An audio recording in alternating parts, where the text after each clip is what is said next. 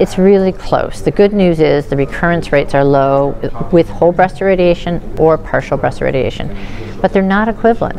Whole breast irradiation did a little bit better. So the local recurrence was about 3.9% in the whole breast irradiation arm, and it was 4.5% or 4.6% in the partial breast. So within a percent of each other.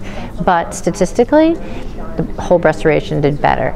And when we didn't, we weren't really powered to look at different subset groups, but if you go through it, you can see a pattern of lower risk patients um, uh, had lower event rates um, overall. And so there, the difference might not be so clinically meaningful, but in uh, subtypes or risk groups where the recurrence rates are higher, then those differences um, between whole breast and partial breast are more meaningful clinically. So what we took out of our study is that um, uh, it's you know the good news was the event rates were low altogether, um, and but uh, it was close within a percent.